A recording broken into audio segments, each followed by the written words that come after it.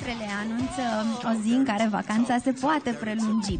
Ne putem gândi la o iubire de vară care are șanse să se concretizeze. Berbecii pot cunoaște o persoană interesantă care le va stârni interesul și pot lega o prietenie durabilă. Uh, Cei care sunt deja într-o relație sunt mult mai romantici și uh, mai ales dacă sunt aici la malul mării. Taurii sunt într-o vacanță continuă, de aceea sunt veseli și le cam lipsește simțul practic, devin visători și se gândesc la cadouri pentru persoana iubită. Gemenii care se întorc din vacanță au foarte multă treabă, în altă ordine de idei, s-ar putea să se îndrăgostească sau să se întoarcă la iubiri trecute. Pentru raci se anunță o zi în care pot face cuceriri, mai ales uh, dacă sunt pe plajă. Au atitudine deschisă, sunt comunicativi și reușesc să fie sufletul petrecerii. Lei profită pentru a se relaxa și încă se gândesc să-și prelungească vacanța.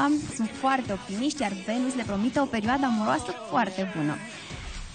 Fecioarele care s-au întors la serviciu au succes în carieră, iar unii nativi își pot găsi un loc de muncă care s-ar putea combina cu distracția. Au petrecut mult în vacanță și încă se gândesc să o prelungească cel puțin până la sfârșitul lunii septembrie. Balanțele se pare că au cheltuit cam mult vara aceasta, așa că deocamdată nu stau foarte bine pe plan financiar.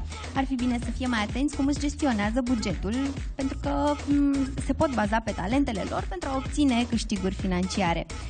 Scorpionii au de făcut cheltuieli care le vor da peste cap uh, concediul. Totuși se pot aștepta să fie invitați la o petrecere, iar acest lucru le schimbă complet starea. Săgetătorii sunt foarte optimiști și au șanse de reușită pe toate planurile. Au și un farmec aparte cu care vor reuși să cucerească pe toată lumea.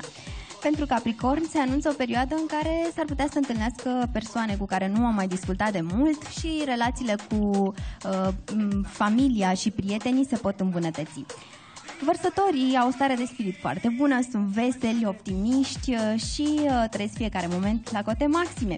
E bine să fie mai atenți la cum își gest- gestionează bugetul pentru că s-ar putea să uh, cheltuiască foarte mulți bani pe lucruri inutile.